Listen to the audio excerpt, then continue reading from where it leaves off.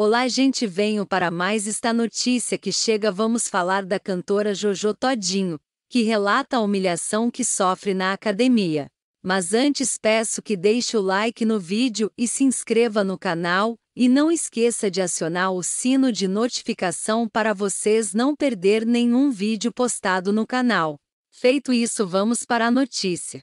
A cantora e apresentadora Jojo Todinho decidiu entrar de cabeça na rotina de treinos e mostrou toda a sua disposição para garantir a boa forma. Ela que vai fazer uma redução, ou seja, vai operar e ela tem que perder peso.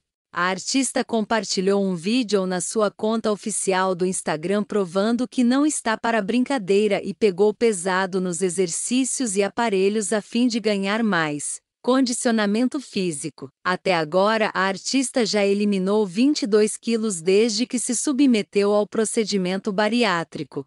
Jojo segue se adaptando ao novo estilo de vida e desabafou que o processo não está sendo fácil. Ela disse se tem um lugar que você é humilhado é na academia. O personal não tem um pingo de consideração com você. Não queria estar passando por isso. Que humilhação disparou a artista em meio a exercícios e séries. Recentemente, a apresentadora fez um desabafo sobre o assunto. Estou sofrendo bastante, mas sem desanimar. É muito difícil.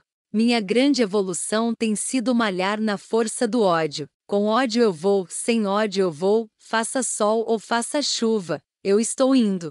Porque eu preciso, e eu entendi que só eu posso fazer isso por mim. Não tem mais o que fazer, não tem ninguém para fazer a não ser eu, disse ela, comentando que o processo de evolução do tratamento somente pode ser percebido na balança. Quando você se pesa e vê que de 159 quilos, hoje eu estou com 137 quilos, então isso é uma grande evolução, disse ela, feliz da vida.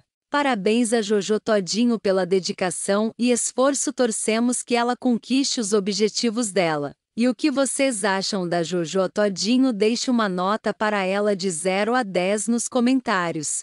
Pessoal, peço mais uma vez deixe o like no vídeo e se inscreva no canal e te vejo no próximo vídeo. Ficam todos com Deus.